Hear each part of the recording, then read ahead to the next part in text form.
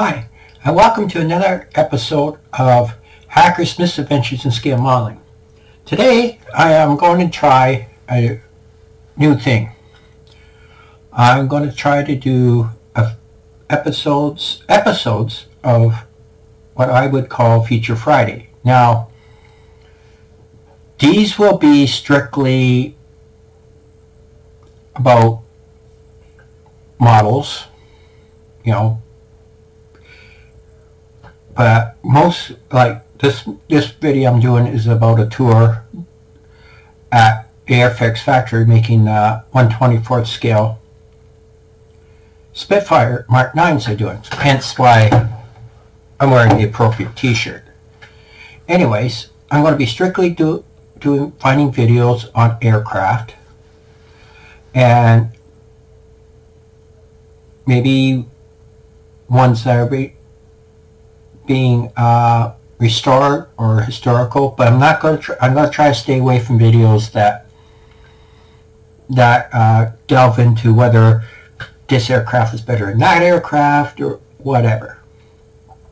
I was like recently I was watching a video on the F-35 and the guy was going, well, you know, this and this and this. I, I, no, no, it has nothing to do with modeling. That's just strictly analysis and that. We're into the aircraft, like walk-arounds and stuff like that. So, so for uh, oh okay just remember if you do find find a video or have a video to to upload want, want me to do I can do it on here that's no problem anyways no further ado let's uh, let's watch the show I also would like to uh, acknowledge the person who did the video. It's MOS 6510 Models who did the video. And uh, subscribe to their channel. And thanks a lot for the video. It, it was very interesting. So let's go on. I have my coffee already, so let's go. I was invited by Dale and the Airfix team to the factory in Newhaven where they are manufacturing this kit. What a day. Firstly, I just want to say thank you to Dale, to the whole of the Airfix crew, to Mark Thompson, who's the managing director of Plastech, who owns the factory where this is being manufactured, for a fantastic day. It was so insightful. Um, the day started off with a talk by Luke, the researcher, and Chris, the designer um, about this tooling and the reasons why they went for this. Then we had lunch with some lovely Marks and Spencer sandwiches, thanks Dale.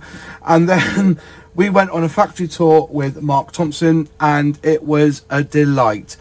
There's so much going on in this field. I filmed as much as I could of the actual factory tour, right the way from the history of Plastech, the fact that they build quick builds. So you was so you will see a lot of these kits in the video, I presume, you know, as we're walking around, you'll see them boxing up those kits. And uh, as you know, I've done the Jeep this week, so it's uh, it was quite nice to uh, to see where the quick builds are manufactured, and then to go on and see this being, you know, made, and uh, the, the whole premise behind it, the problems they've had, how when it comes to quality control, I don't think there's an Airfix kit out there that has as much quality control. I'm just saying, okay? Um, even down to when they find sink marks and they adjust the tooling to try and make to, to make sure there's no sink marks when you get your kit. I just uh, that sounds good. Uh, it's been a long time since I actually seen a video of kits being made, and that was like 30 years ago. So lots of a lot of things have changed, and I'd be interested to see how and what they do during manufacturing process. So let's go have a look. I want to point out that the audio may vary in quality throughout this tour. Unfortunately, it's a very loud building, so I've tried to enhance the voice the best I can. And also, they had radios playing, so so I don't get a copyright strike. I have actually tried to dull out the background noise because of that as well. Also, if you're not a subscriber, please feel free to click subscribe and ring that bell to be notified when I release a new video, if you're enjoying my content. Anyways, we'll start off with meeting up with Mark and the history of Plastech and the relationship, and we'll go through and see how they manufactured this kit. Oh, right. I'm, pu- I'm, pu- yeah, I'm public knowledge. There we are. Yeah, I saw him on the telly. That's it. So, let's just give you a little bit of history about Plastech. So Plastech was formed in 1983, primarily as a toolmaker. So it was an injection mold toolmaker before it did any injection molding. So Plastech has the ability to work with a customer from an initial concept. So you can come in here with an idea. So say for argument's sake, you wanted to make your own model outside of Airfix. You know, we could design it, develop it, produce it, tool it, mould it, and deliver it. So the whole idea is to, is to offer the complete supply chain under one roof. So from tooling through to a finished end product, we can do the whole lot. Well, you make tooling here as well, do We you? make tooling here as well. Yeah, we make tooling offshore in China as well. Yeah. Obviously, tooling is very expensive as you as you're aware in the UK. Tooling is usually the bit that kills all models, you know, and decides whether it's going to move forward or not. It's not the actual production. Production costs are relatively low, but obviously tooling is where the investment is. But we've tried to, um, on this particular project, work with local suppliers. So, so the leaflets are printed uh, in the local town, in the local town Seaford, just down the road. The boxes are produced um, furthest away, Portsmouth, and then we've got another guy producing the base boxes in Upton. So within that sort of 50, 60 mile radius, everything is produced around us, and we are producing and making a whole product. So let's have a, let's have a wander through next door. So,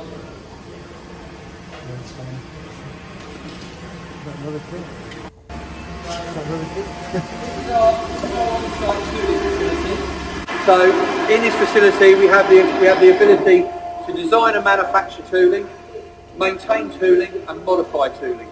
So the tooling when it arrives with us from China comes in crated. We'll uncrate it, we'll open it, we'll degrease it because it's all grease for shipping. We don't want any corrosion in transit.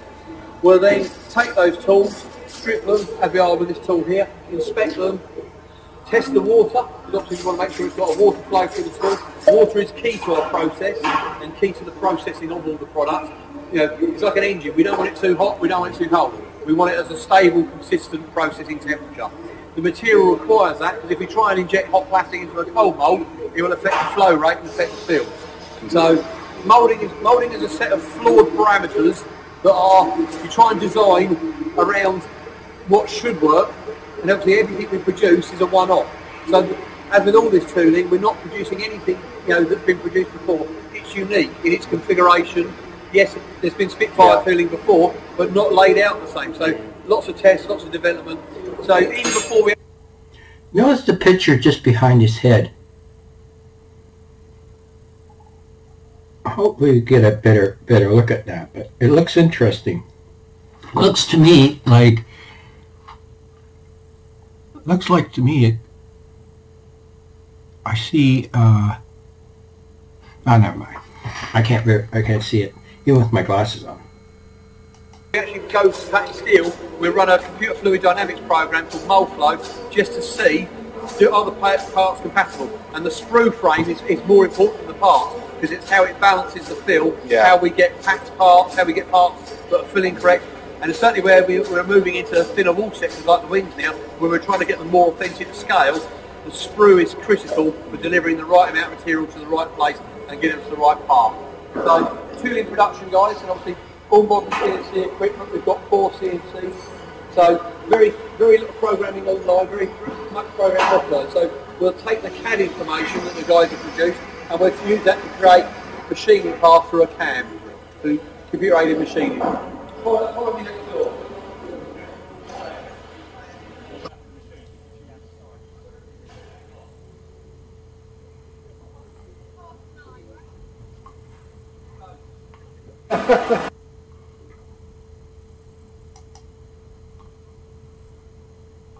production guys. And Gonna have to see- take a look at that. We've got four CNCs. So very, very little programming online, very much programming offline. So we'll take the CAD information that the guys have produced and we'll use that to create machining path for a CAM, through computer aided machining. Follow, me.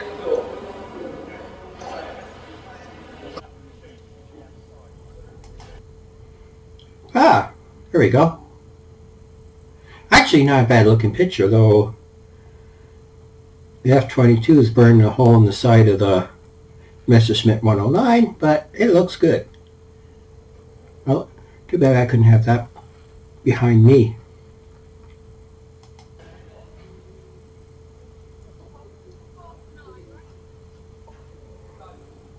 Right, this is this is this is building one, moulding one.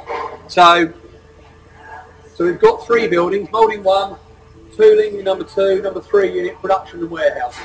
So this is our key moulding manufacturing facility. So you'll see various moulds dotted around. Every time you see a mould with a yellow ATML number, that's an Airfix mould. Yeah. So that's an Airfix product. That's an Airfix product. And you'll relate the the relate the part number on the, the mould number relates to the part numbers. So we can identify what's in there. So there we are. That's a quick build McLaren mould. This tooling is quite old now. It's about eight nine years old since we produced them. Since we produced the McLaren. The moulds are adaptable to go into a range of moulding machines. So our moulding machines start at 80 ton clamp force down the far end, up to 380 ton. So the one we're going to look at today is the 380 ton, which is currently moulding uh, Airfix, uh, Airfix Spitfire components. So this is a new machine. It's a microprocessor control machine. So we can drop the machine in. The machine is adaptable. We have to tell it what mould we're putting in, what size of mould. It's all, we calibrate everything to suit the job that we're running at the time. So we can run various materials uh, as well. Sorry. Play.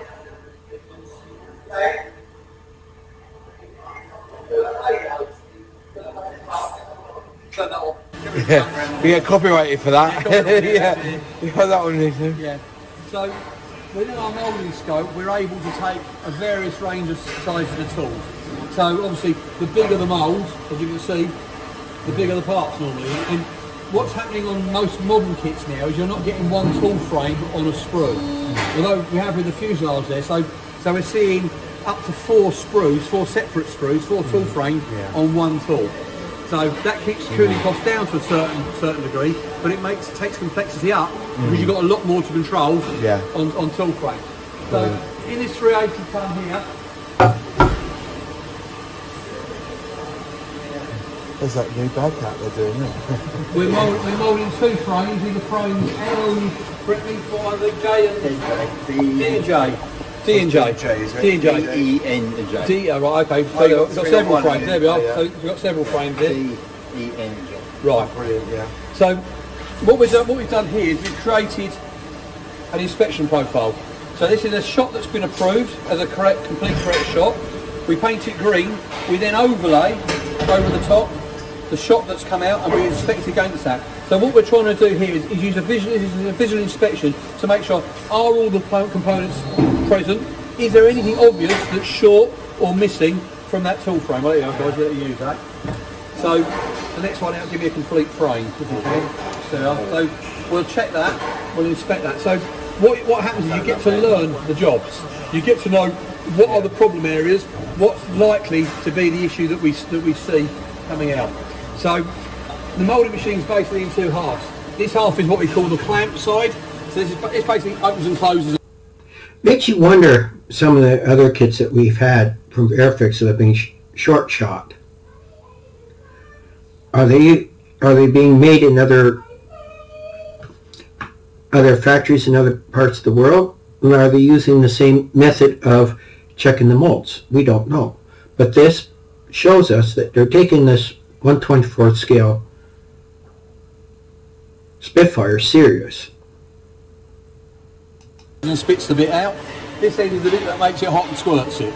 Ah, so okay. we'll take a raw material granule, um, which is uncoloured. We'll add a pigment to it that's, that's compatible with the material. That's most important because obviously sometimes you get what's called a universal polymer, universal masterbatch, that won't always be 100% correct for the material it's going into.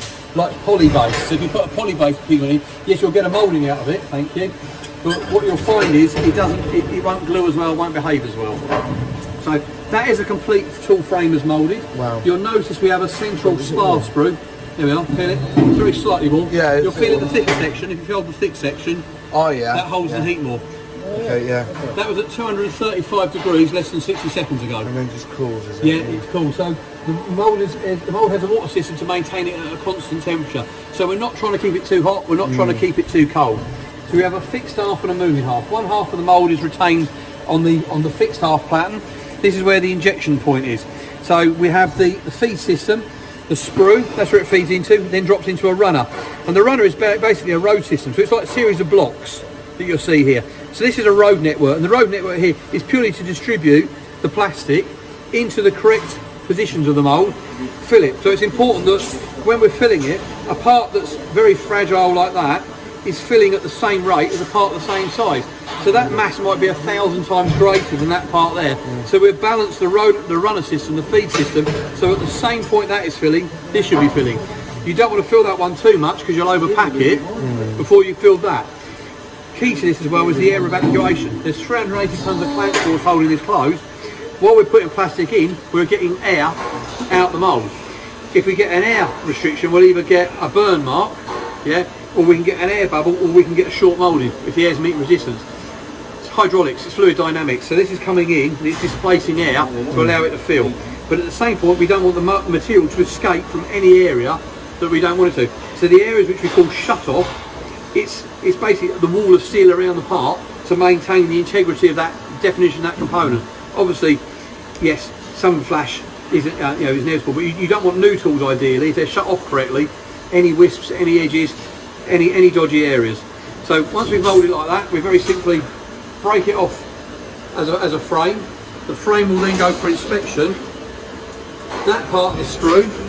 The policy is zero landfill, so we'll take that, we will regrind that, and we'll either repurpose this at a lower dose into a, into another component, or we'll take that and we'll add it into another moulding and another product. It's the styrene, it's the styrene, so we can add that to ABS at a very low, typically 10% mix rates. I've worked in uh, mold injection places before, doing the same, basically the same thing, and it, it that's common. It's called regrind, and they they put ten percent of the regrind into a vir, in, into virgin material. Too much, and because the plastic is now different than the virgin, too much would would uh, affect the quality of the plastic. So the limit for them probably is ten percent. Other places I've worked for, worked at is five percent. But it just saves it going to the landfill because that's a waste of money. You could, when you could re, reclaim that material. However, that would probably be more forgiving in something like the wing or the fuselage than on mm-hmm. parts that are highly, highly detailed.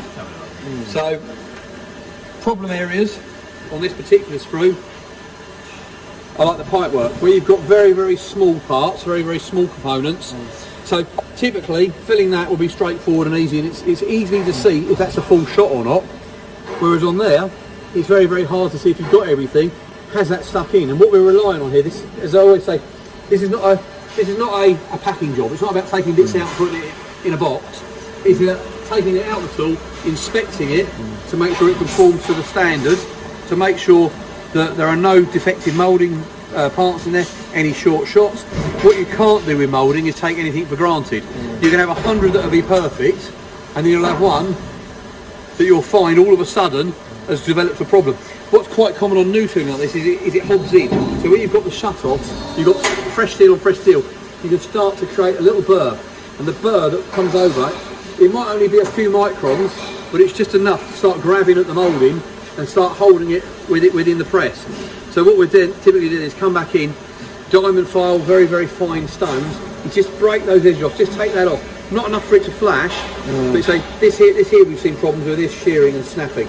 Such a thin section, obviously in scale, and obviously the force, you're pushing that out the mould with Yeah. the force. So, so obviously we've got lock over, we've got, we've had injection, we've now got mould cooling. So the toggle will release in the back here, you'll see that move first, and that will release the lock pressure, and then it will pull open. You'll hear it come open, then you'll see ejection. The ejector pins will come forward, push it forward. But because of the amount of surface area that's holding it, we will still pull that sprue off of the pins. We'll then shut the door, close it, safety bar, a safety bar, all the machines are safety controlled so you can't, can't close it with your arm in there. And then what we'll do is go through the inspection process. So it's warm there, thicker section it'd be warmer down the bottom. And also, if I snap it there, it's it's more it's softer there because of it's retaining the heat. You see, when you when you bend it like that and snap it, what's happening there? That is the raw polymer. You stressed it, so what you've done there is you stressed out the masterbatch content. If you look at that, you'll see that there'll be hundreds and hundreds little grey dots, but because it's greater in its stress, so there we are. Hopefully I'm re- so bring them off, don't break them. But also we're looking we're looking all the time. Is it a straight sprue? Is it a bent sprue? Is there anything snaps? And again, these here, these are here for, to help for the ejection. So in other words, when we can't put a pin mark on something, we can't get a pin. These are also overspills. So hmm. areas where it wants to vent or gas, we can then use these Yeah, to yeah, flow yeah. fresh material into. Sorry, Julie, I'm making a mess. So, where's uh, a...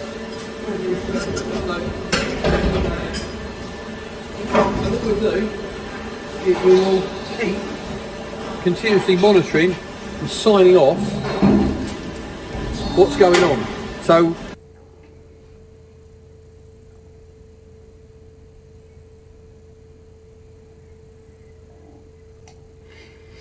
That's interesting. They how they uh, how they uh, track who's who's checking it and what date and that. So if you if you get when you say, "Oh, I got a short shot," and you get a hold of Airfix and they send you another one, that's why they ask you for the identification. Let me move my thing here. Let me move my thing here. See, this is the identification that tells tells them who did what. we have a historical record there of production over what happened on what day. So if we do get a problem, we've always got a reference to come back and say, well no, hang on a minute, hmm. it's a fresh problem. Yeah. We haven't sent stuff out last week that's got this problem because we can see that was complete, that was okay. So those parts will be reused and go back into product, but at the moment on this batch run, we're monitoring right the way through. This is a double inspection job, so although yes, taking out the machines are one person operation, to get the correct amount of inspection, we need two people on it, Yeah. and we bag it.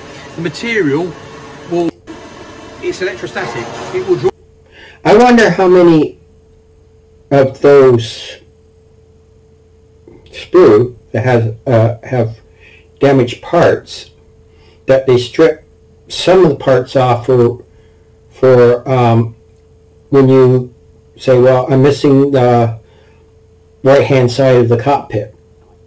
I wonder that's how- where they probably where they get their spare parts from. Draw out the, any dirt, any imperfections. If you see kit sometimes, like an old kit you'll get out sometimes and you'll see it's got brown or like a wash mark all over it, that's because it's drawn down the dust out there. So we will bag and seal it as quick as we can, straight away. And again, no contaminants, there's a silicon release agent there. So we can have a silicon release agent maybe to get the tool up and running, but you can't run it in production because any silicon that gets into that material means you won't be able to paint it. Right. And then, you know, again, some offshore products you will see that they're running a tool where they Yeah. spray, continue spraying mulberries, they get it running, but they've not thought about that you've got to paint it. That's right, So you've got to bath it, scrub it, sand it down to remove, you know, soak it, clean it thoroughly before you can paint it. What we're trying to run here is dry product. It's product that's in the in the correct material and it's dry. So we, will- in theory, then we won't have to wash this before we paint it. That's Yeah. In interesting. theory, yeah. Yeah. In, in theory, obviously. Yeah. Yeah. But you know, st- obviously still wash it, to, you know, still clean it. But in theory, it's got no silicon in it. There's nothing in that that should have an adverse effect. That is pure styrene. So we I, I think um, one of the issues we've had over the years from all manufacturers, not just Airfix, is QC. Yeah. But it just seems, you know, that some of it you'll pick it up from the floor, put it in the bag, and away you go. Yeah. You know, but here it just seems a bit. Oh no, I'm just saying that you No, know. but, but we, yeah. we, we, I've seen kits that I've bought which have got plier marks. Yeah. So they're running that off, and then they're in the tool with a pair of pliers, pulling the bit out that's got stuck, drop it in the bag, seal it. Yeah. No, what comes off there must run clean. Yeah. and must run through. And it's and it's, it's, it's yes, it is more work. It is more time consuming. And it's what you'll see here is yes, these tools are, are with us for a period of time before we're ready to go to production. Yeah. Because it's development. You know, you don't Right, go to sorry. mechanics, don't build a racing car and expect to go out and do laps. You go testing, and when we do testing, we will look at what's working, what's not working. I don't know if any of you guys want to come and I'll stop it next Yeah. process. I'll open So it up. just said to watch you open it up, and then we can take a video clip. Yeah. Is So, that all right? Yeah. So Sorry, mate. Can I That's just all get right, inside mate, you? you're Cheers. Thank you. hard life in a concert. It is, yeah. Yeah, it's for keeps.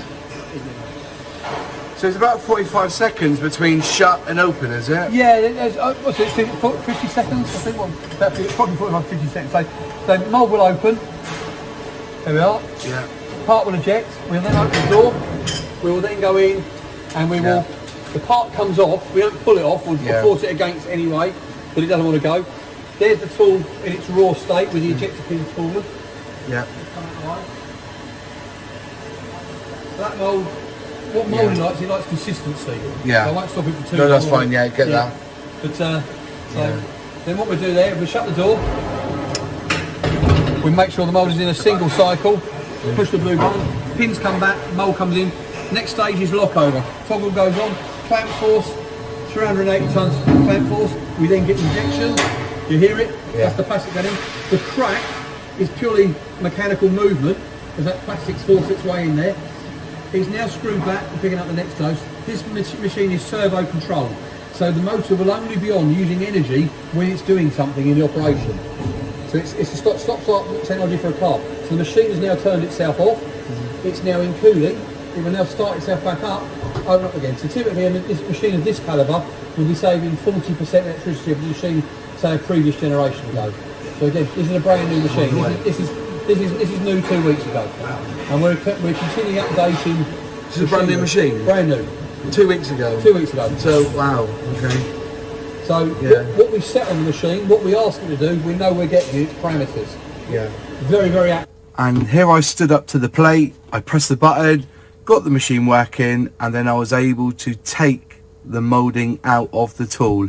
So there will be a kit somewhere with four sprues that was made by me. Right, press the button. this one here? That's it. You'll see the pins go back. Mold closing, locks over. Process starts again. Wow.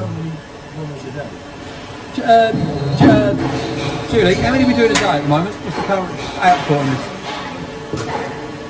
It's fil- yeah, five six hundred a day at the moment. Yeah, you- what we try, yeah, we're running a 24-hour shift. So typically, you know, it's, it's, a, it's very, very simple. If it's 30 seconds, it's 120 now. If it's 60 seconds, it's 60 now. So you just, you just multiply up. So at 45 seconds, what's it, 90 odd an hour, isn't it? So you're running 90 parts an hour. Yeah. And as long as you can open and close that, as long as you keep the plastic going in, yeah, 10 hours is 900.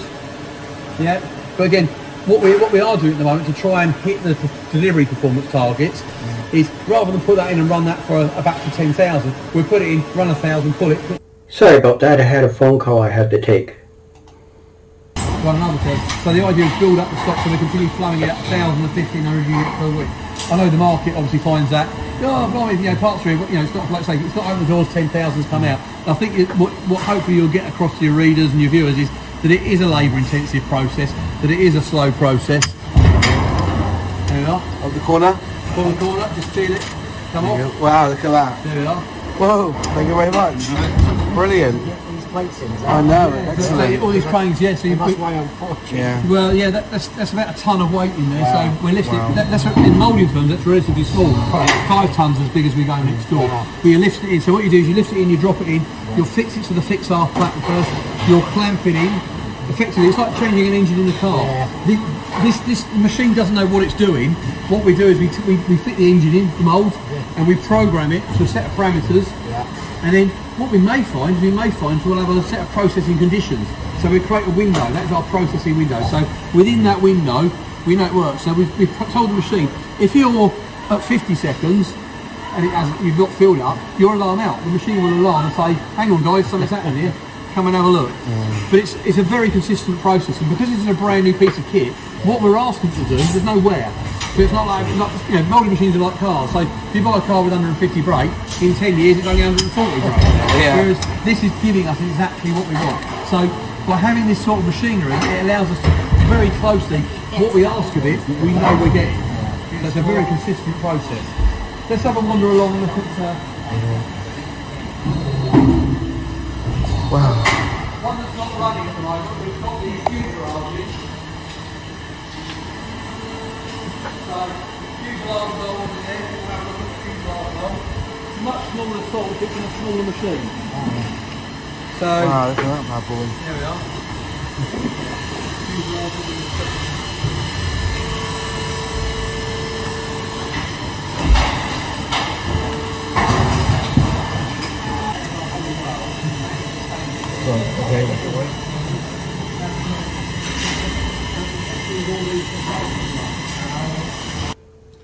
This is interesting, the fuselage halves.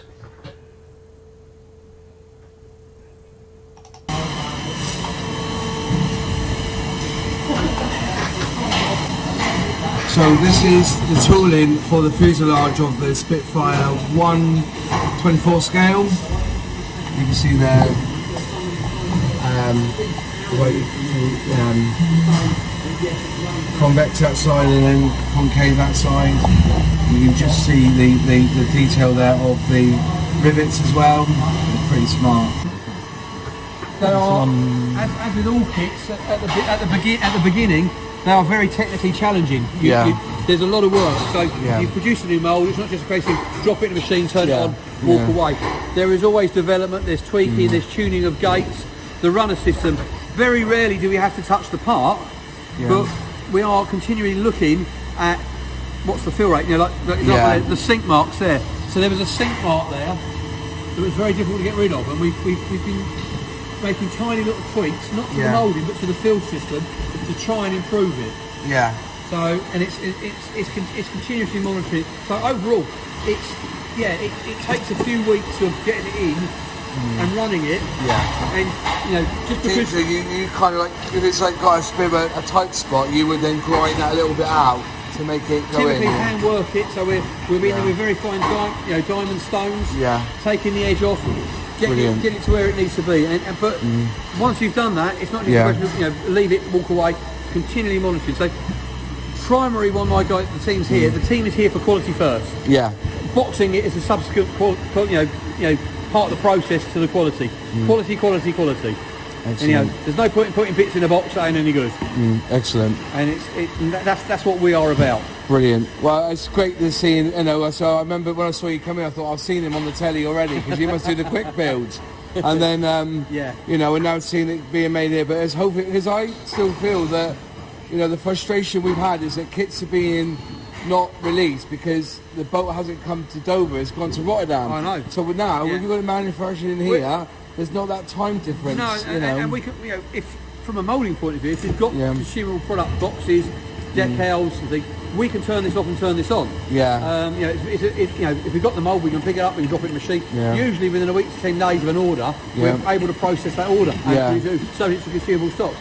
I love dearly, you know, part, part of the reason, you know, we are working for Hornby Airfix Yeah. is I love the brand. I grew Yeah. up with, I grew up with the brand. Yeah. You know, and I, I, I was saying to someone earlier, I knocked on Mike Waters' door, a director at the time, Yeah. and said, I want to be doing this work. And Yeah. I, I, I'll take a I job there. Months and he said, come in, sit down, you've got 10 minutes. Yeah, that's why Yeah. I had the story. Yeah, that's it. And he said, yeah, Yeah, he said, if, if, if they're not a fit for us, leave me alone. yeah, And very, very quickly, I was talking to the, the then time uh, MD, and we established Quick Build, and then we fo- subsequently followed that in with Glue Kits. You know, I'd love to be, think we can produce it all here. We, we have the capability, is whether it's commercially viable. yeah, And obviously, at, at this price point, it's viable. At lower price points, less viable. Mm. Yeah. But this is a serious, you know, this is a premium product. This is for a serious modeler. Yeah. This is not an impulse buy. This is a planned buy. This Yeah. is, you're buying this because you want this. You, you have an expectation on quality. You have an expectation on detail. yeah, And Yeah. This is what he was saying. It's not just like a cheap kit. It's a collector's item. It's That's something right. that you're going to Yeah. spend hours, days, even mm. weeks or months building. So you you do want. Yeah. There is almost going to be a reverence to it when you build it. yeah, Yeah, and, and, and it's, it's, a, his- it's, it's a historic model as well, and you know, and the thought of the Spitfire being manufactured anywhere but here. yeah, in- in- exactly. in any yeah, way, shape, yeah. I'm doing 22,000 as well. That would Yeah. be the golden number, isn't Yeah, it? that's Like, it, you know, that's- yeah. that's it. How are- far have you done so far? Yeah. yeah, And, and obviously, you know, not today, but we do get the flyovers from the Spitfires as Yeah. well. And yeah, it's an iconic aircraft, and, and it deserves to be given, you know, the attention to detail that it's given. Yeah, And obviously, I'm hoping that obviously the people that will buy it, you know, your viewers, you, Yeah. know, the, your, you know, your readers will appreciate the level of work that's gone into Oh, getting the product definitely, to this yeah. level. No, it's you know. But then again, me personally, it's got an Airfix sticker on it. I buy it anyway. Don't know Matt. You can see my pre-order on it on in January. You've got a problem there. I am, I am, you got yeah. it. It's an illness. It is It an is an illness, It yeah. is an illness. Yeah, it is. an Brilliant. illness. Um, colours different. I different colours. Not really. What about here? The visual inspection again. And you know the little details like the Airfix roundel stamped into the bottom of the box. That was a suggestion from our packaging supplier. He's got he's got he's got a new piece of kit that says I can, I've got this machine there that can cut and fold and do all this. I can put the Airfix logo in the box. So you embossed it. There's that part of it, it. yeah. It's- Because that, that was a lovely touch. That Yeah. was, you know. and it's just it's just a little bit of attention. You know, just pass. Excuse me. Sorry, guys. Sorry, Gary's in the way. You've had your 20 minutes. Yeah. So just to have that in the bottom of the box. yeah. Just so when you're building it, That's cool. just that little bit of attention to detail. It's, It's an attention to detail product. Yeah. Or because he thought, oh, I've got a new machine, we'll try We'll it. try and that, then, yeah, and it, it does, uh, Yeah, we when can you have charge it 5p extra for the box, I can see all that, mate. I guarantee that. I guarantee that doesn't happen. but it's from a Dale, 5p. but, but from a commercial point of view, Yeah, yeah, it's stunning, yeah. It's, it's a free detail. Yes, Yeah. it was a, you know a little bit more in the tooling, but it's just nice. It's just showing that it's not just a box. Yeah. Yeah. This box is actually based upon the Bentley 112 box. Yeah, That's that's, that's the yeah. actual size of the box because that was Yeah. Mm. what we that was the that was the market intention to use that size that size of box and because we, we you know we, we did the test shots into the Bentley box Yeah. this was pulled from it Right. You know it's the, it's it's it's the it's the what's what's wrong what's right you know Yeah. so there's the box Yeah. if you'll notice when you turn it that way everything's right way when you turn it that way everything's Yeah, Yeah. that's it. It's reversed. that's a, that's an Airfix straight, that is. Yeah. right. And again, all Yeah. of these things, all of these things matter. How the box folds up, you know, even down to how when the box is sitting right, so you don't damage the edge of the box, the, slight- the very slight overlap. You know, so even that, ah. even that was pre-thought out. Yeah, so when it folds down, Yeah. yeah, so all these little things that we, it's, you know, this box has been through two or three iterations. The shipper carton, the shipper carton, as you probably will know, Yeah. Even that's been thought out. So we've got a, we've got a shipper carton box now that fits the box exactly. So each one of these is now boxed individually. So we're not shipping. So so from a customer point of view, when it's actually packed, it's Mm. packed into a shipper carton. So the risk of the box getting damaged, scratched, Yeah. creased is reduced because it's already in shipper carton. Yeah. And again, environmental. We're now on the paper tape. Yeah, saw rather that, than the yeah. And you probably noticed we've got brown paper in some of the devices So, um, yeah. to try and reduce, try and reduce the amount of plastic that we use Yeah. in packaging. It's good, that, Single-use yeah. plastics. You know, It was a box within a box within a box. That's what got me because Yeah. at the moment you've having to have the poster as well. Yeah. So you must have loads of posters somewhere. We're not here. They're coming out separate. They're, Are they- they're being dispatched direct. Oh, are they now? Yeah. But- Because mine came with the poster in with it, and I was with like, "Whoa, look at this!" Look Like that, it was yeah. really good. Yeah. But, So um, yeah, the, obviously yeah, the, the colour scheming, um, uh, prints, the instruction leaflets again, all done, all done locally. Yeah. The guy there, master printer, the care and detail that he's putting the colour matching on that. Mm. You know, getting the getting the crispness of that all counts for delivering a quality product. Yeah. And it's yes, okay, yes, and you could make an instruction leaflet for five pence, ten pence less, mm. but at the level, the quality of grade of paper, again, it's sustainable paper. It's recycled. It's, it's made from recycled material. You know, potentially on the outside side of the carton, you could, you know, it's, we could offer potentially a carbon neutral offset. Yeah. We're not able to do it across the whole product range, but that is something that, Yeah. that's possible. just And- planted a couple of trees. Yeah. yeah, You know. that's, that's it. So there's the, And now, is it right that you've got um, recycle tabs on these because they can be recycled, can't they? The, this sprue can, yeah, this, Yeah. The, sprues can be recycled. Know, There's a recycle tab on the thing, isn't there? Yeah. the. These could go. These can go straight. Obviously, we all know. Yeah. We could all cut the sprues up for using for stirring paint and making aerials and things like that. But this sprue here is, is, is exactly the same um, material and could be put into the into the rubbish bin as recycled. And again, it's uh, it's got the correct logo on it. Correct logo on it. Yeah. Yeah. So it identifies what category it is Yeah. on there. So yeah, just again putting back. Just all these all these little bits. How many places in the UK that can recycle that? Because when I did a check, high impact polystyrene, it's, 6 is not. it's it's negligible. There's a, there's a company there's a company we're talking to at the moment that's got a got, got a new unique process. It's not market available at the moment, but they can chop a car up, and they can chop a car up, and they can take the metal out, they can take the aluminium out. They can even now take the plastic out and and segregate the plastic at a molecular level by a float process. Now, the other thing that's coming for kits, and this is not this hasn't been done on this one, is we can now go to a monomer based. Uh, all plastic use a monomer in them. We can now go to uh, 100% recycled monomer. So yes, it would increase the price of the plastic, but you can make it from recycled cooking oil.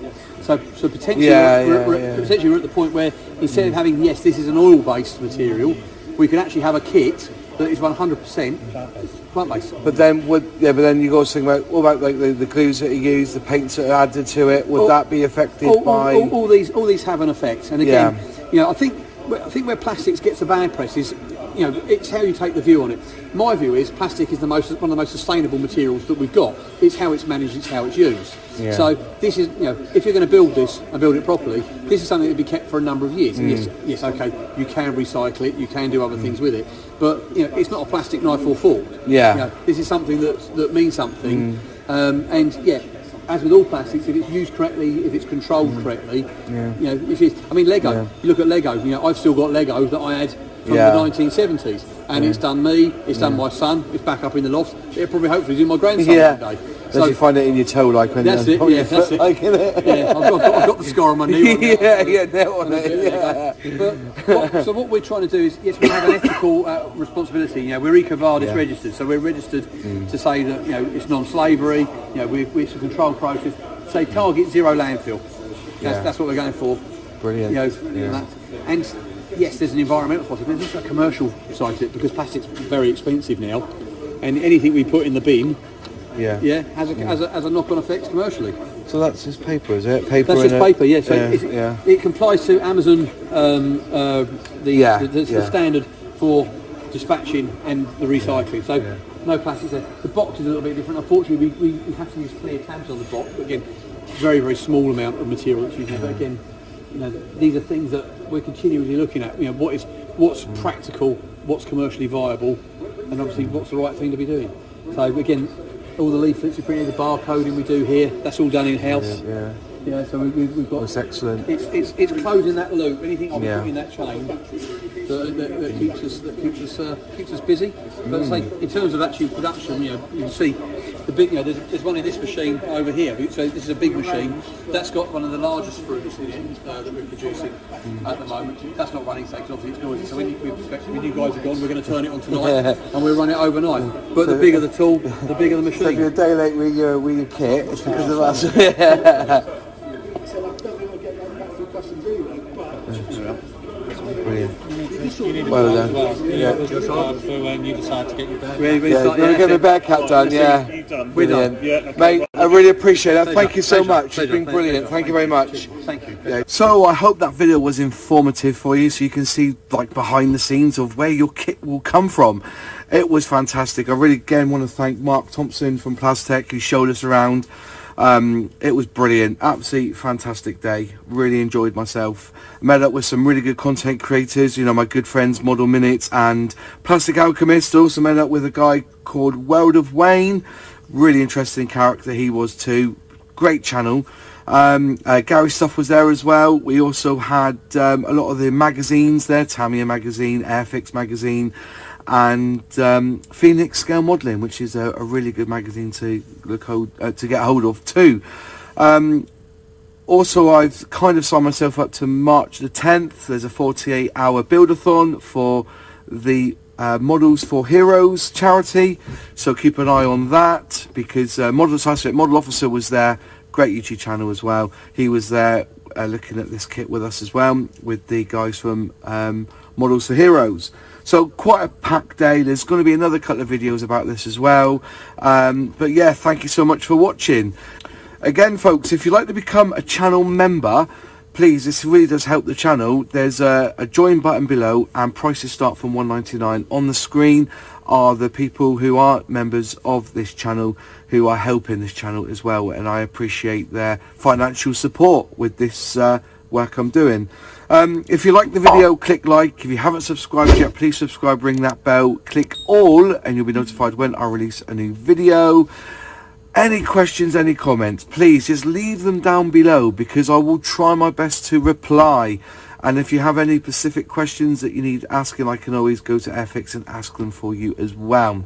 That's it. Great time, great videos. And if you want to see the unboxing of this kit, click here. And if you want to see other videos in relation to my FX channel, click here. Well, that was interesting. I hope you enjoyed that this video. And same as him, please uh, subscribe to my channel and hit the like button. And if you have any comments, please put in comments. I'll, I'll always listen to comments. If you have questions, I'll always ask, ask, answer your questions. Anyways, that's it for now. And uh, thanks for watching. And remember, every build's an adventure, so go make it awesome. And we'll talk to you later. Bye.